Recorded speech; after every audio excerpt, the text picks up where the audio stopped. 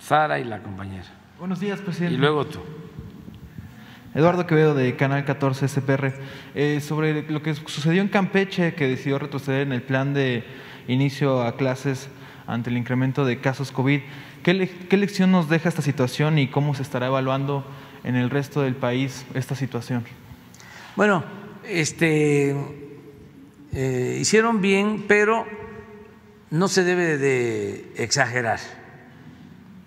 Eh, hay que este, aislar si se encuentra eh, un contagio o un brote, se aísla, pero no cerrar por completo, no parar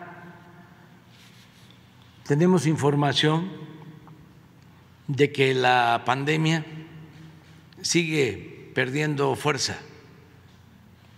O sea, no hay este, indicios, no hay eh, elementos para eh, preocuparnos de que pueda venir una tercera ola. Si no, lo diríamos. Entonces, sí pueden darse casos ahí aislados, pero esto no puede eh, ser algo de preocupación nacional.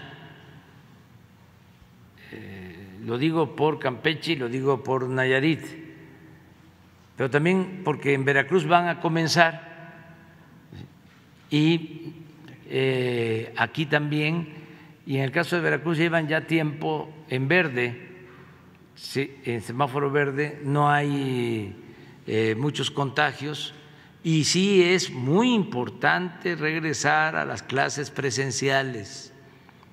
Mucho, muy importante. Es cuidar la salud, pero también garantizar el derecho a la educación. Que no se nos este, vuelva costumbre el que los niños tienen que estar de frente al televisor o al internet o recibiendo las clases eh, en línea. No, eso no es lo mejor. Y no solo son niñas y niños, adolescentes. Eh, tenemos que regresar lo más pronto posible a las clases presenciales porque también tenemos entre todos que hacer una evaluación de cómo regresan los niños, las niñas, los adolescentes y quienes no eh, van a regresar, que hay que irlos a buscar.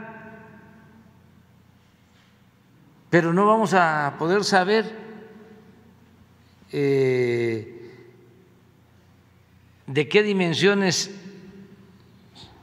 es la deserción si no nos volvemos a reunir en las aulas y padres de familias y maestras, maestros y autoridades analizamos la situación educativa entre todos, porque es muy importante lo de la educación. No podemos quedarnos rezagados. Entonces, eh, hacer un esfuerzo en, los estados, eh, entre todos, autoridades, gobernadores, la gobernadora de Sonora, la jefa de gobierno en la Ciudad de México, este, padres de familia, repito, maestras, maestros, todos, porque es, muy importante la educación. Eh, en la economía, les puedo decir, estoy optimista, porque a pesar de la crisis económica, a pesar de que eh, nos caímos, 8.5%, ya estamos levantando. Ya con ese pronóstico más conservador de que vamos a crecer 5%, pues ahí vamos. Y se están recuperando los empleos. Sí, pero ¿qué pasa con la educación? Que es fundamental. Entonces, yo sí creo que tenemos que tener cuidado, eh, eh, tener buenos protocolos de salud para el regreso a clases, eh, pero no decir hubo este, un afectado, un contagio y cerramos ya de nuevo toda la escuela. No, vamos eh, tratando.